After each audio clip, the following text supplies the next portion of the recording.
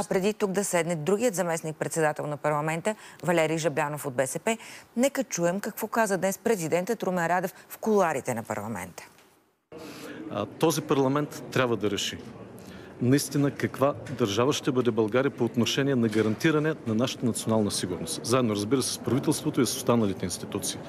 Дали ще продължим да бъдем държава, която ще бъде под власт на чуждо влияние или ще има законодателство, което да слага бариера на това влияние. Ето, това е големия въпрос и тук няма никакво значение за коя държава говорим. Ние трябва да решим наистина, ще бъдем ли държава, която няма да допуска регистриране, да речем, на етнически партии, конструирани отвън. Ще бъдем ли държава, която ще се грижи за своите религиозни общности, като ги закрили от външно влияние. Ако наистина се грижим за своята армия, да не допускаме тази армия да се разкапва пред очите ни, тогава няма абсолютно никакво значение кой и откъде ще гласува. В студиото вече е Валери Жаблянов, заместник-председател на парламента от БСП. Здравейте и добре дошли. Здравейте. Сега, Чухте какво каза президентът, че трябва да се грижим за българските граждани. Вие приемате ли всъщност този законопроект, който беше лансиран от Правосъдното министерство, служебния кабинет, Твърди се, че с, съучастието на президента Радев за уседналостта, че българите в чужбина, които живеят в чужбина, не трябва да имат право на глас. Най-напред, според мен, трябва да се отбележи, че законопроект няма имаше един текст, който беше разпространен. Законопроект беше когато, в правосъд... в, когато определен текст влезе под някаква форма в деловодството на Народното събрание.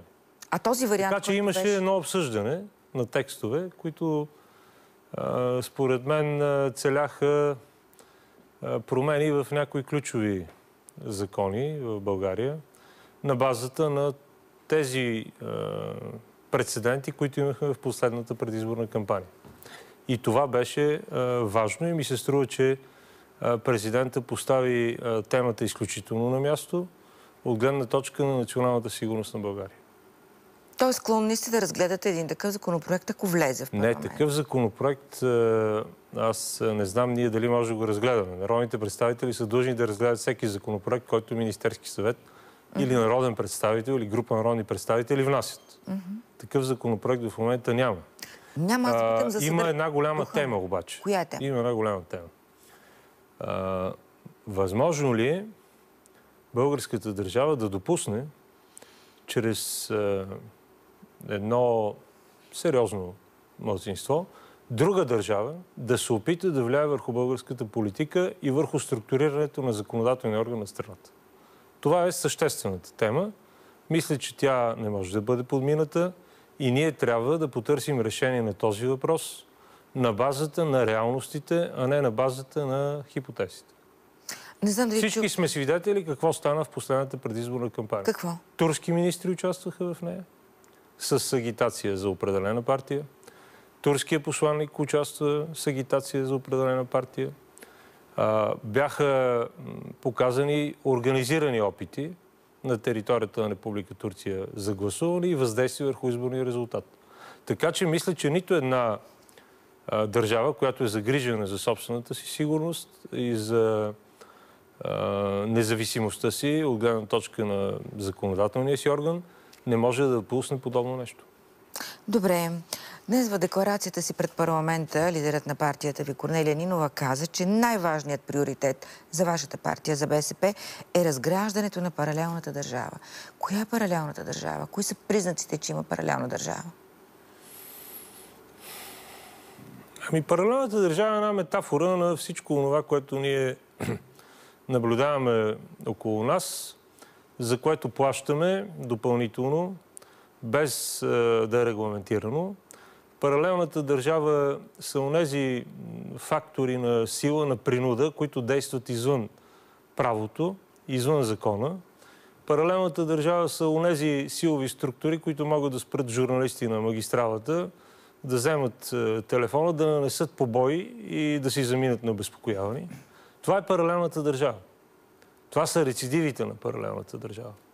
Нелегалните структури на власт, нелегалното финансиране – нелегалните центрове за влияние. Всичко това е паралелната държава, която, разбира се, се гради върху една, ще кажа вече, хронична корупция. Откъде трябва да се започне? Ако от вас зависи тази битка, с какво ще започнете? Е, ние го предложихме това нещо Кое? на българските избиратели. е Разгромяването на паралелната държава. За съжаление не получихме необходимата подкрепа. Но показахме проблема. Очакваме коалицията, която в момента се създава, да започне да решава този въпрос. Проблема с той не е партиен, да, той не е партиен. Той е въпрос на българското развитие в следващите години.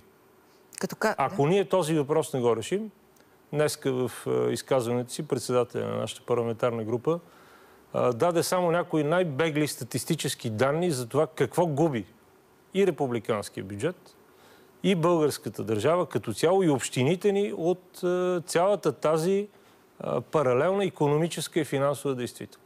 Какво е това? Сива економика ли? Какво е? Не, това е, а, това е доведената до абсурд приватизация на българското стопанство, доведената до абсурд а, либерализация на така наречения пазар, когато той отрече самия себе си.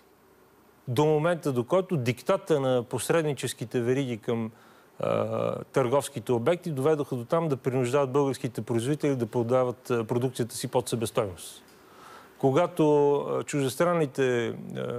търговски вериги налагат такива условия на българските производители, че е по-добре те да изнесат соката си извън страната, отколкото да я продават тук.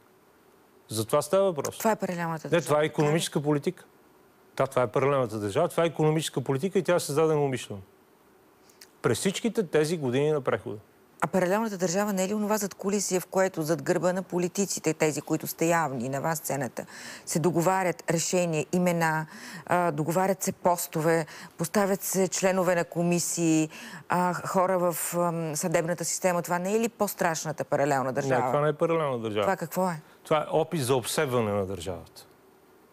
А това проблем ли е според вас? Това е гигантски проблем. Това е гигантски проблем не на българската държава. Това е гигантски проблем на държавата в момента. Защото този опит за обсебване на държавата се наблюдава във всички развити държави в момента. От центровете на концентрирания капитал, на финансовата олигархия, на високите банкови етажи, на центровете на спекулативния капитал, на офшорните зони, които си купуват конгресмени, депутати в парламенти на развитите държави и които налагат собствения си финансов диктат и собствената си представа за политически ред в света. А България е една много малка държава в този процес. Това е а, световната финансова олигархия, която а, се прикрива зад а, формата на фасадната демокрация. И опита да се изгради в България фасадна демокрация се натъкна на делегитимацията на съществуващата система. Казахте, споменахте за новосформиращото се управленско мнозинство. И двете страни казват, че ще работят и са категорични за 4 годишен мандат. Ще струва ли ви се устойчива тази коалиция и бъдещият им кабинет?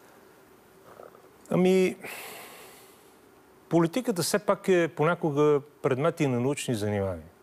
Ако погледнем статистиката от 2009 година насам, няма нито едно правителство, което да завърши мандата си. И нито един парламент. А, аз съм скептик относно възможността това да се случи в това народно събрание. Защо? Не заради друго. Не заради декларациите и заявленията, а заради а, порочната социално-економическа действителност в България. Защото извора на непрестанните социално-економически и политически кризи в България е неуспешния във всяко отношение социално-економически модел, който беше създаден в резултат на приватизацията, в резултат на налагането на ултралибералната доктрина върху българския политически Казвате ли, че сега приватизацията е обрекла българския преход на недовършени мандати? Еми естествено, след като сте направили болници Каква е връзката? търговски, еми да, ще ви го обясня. Каква е връзката, да, между приватизацията Еми- и кабинета, примерно, на Еми, Борисов обяснява. с патриотите? Да, Обяснете ми, елементарна е връзката. Елементарна е Дайте я връзката. да я чуем. Аз не чух някой да е пожелал да превърне държавните и общинските болници и да прекрати тяхното битие на търговски дружества. Ама това означава, че болницата в Дупница може да бъде фалирана и 70 000 души да останат без медицинско обслужване. Защо? Защото е дошъл един директор, който не може да управлява парите или ги управлява злонамерено. Или защото има друго болнично заведение, което е частно и което е решило да фалира общинското. Това а, какво е? Това, не, това е лошо само по себе си, Не, но... това не е лошо. Каква това е е, връзката? порок. Това е порок. Не, това това се е отнася драма. за болниците. Това се отнася за училищата. Това се отнася до приватизацията на летище София. Това се отнася до всичко онова, което дава доминация на частния интерес над обществения. И това разбутва българските правителства и ги принуждава да хвърлят панически Това оставка. води Какво? до нарастването на мизерията в България. А нарастването на мизерията в България води до отчаяние от политическата демокрация като средство за управление на държавата в името на справедливостта. Добре, ма вие пък не прекалявате ли с тези а, мегапопулистични предложения? Сега, замразяване на депутатските заплати, свръхпопулизъм, а преизчисляване на всички пенсии със средния осигурителен доход за 2013 година щяло да струва 800, мили... аз- 800 милиона. Аз това го чувах и от Валери Симеонов и от другите, че щяло да струва 800 милиона, ма явно Горанов ги е убедил, че няма да струва 800 милиона и няма откъде да ги вземат. Това не са ли много популистични такива предложения на старта на този парламент? Въобще въпроса за популизма едва ли ще го изясниме тази вечер в това студио. Но А, едва ли до края на годината ще го не, въобще в Европа няма да го изясним популизма. Защото популизма това означава а, онова, което иска народа. Нали? Така би това трябвало иска да бъде. народа, ама Горанов Да. казва, не ми стигат парите за това да Ами иска преди народа. Горанов имаше един друг финансов министр, който избяга от България. И сега дава акъл от разни чужди телевизии. Тази политика е банкротирала на ограниченията, на рестрикциите. Ама имаше и един друг финансов министр по времето на Орешарски, нали така? Тоест имаше много, не са, не са само Дянков и Горанов Да, но аз смятам, че ако трябва да бъдем честни, в този кабинет, в неговото малко съществуване, в късия период, в който съществуваше, политиката на рестрикции, на ограничения, на свиване на социалните разходи беше преодоляна и бяха направени положителни стъпки в тази посока. Могат а, да бъдат приведени много факти от бюджета и с цифри. А не, да не се връщаме към миналото. Не, Въпросът трябва е, да се че връщаме конкретно, за да могат да се дават и конкретни отговори. Нямаме време, иначе на мен ми е много любопитно. Когато става въпрос за истината, напоследък няма време. Еми имаме 50 секунди. Ако мислите, че ще кажете истината за 50 Не, секунди, нямам. аз Аз, млъквам съм философ по образование да и трудно мога да кажа истината за 50 секунди. Еми, значи въпросът, са, въпросът е обективен. Съвсем на финала да ви попитам, наистина, а, тези неща, които ги говорите, а смятате ли, че може да докажете, че като разчет ще се случат?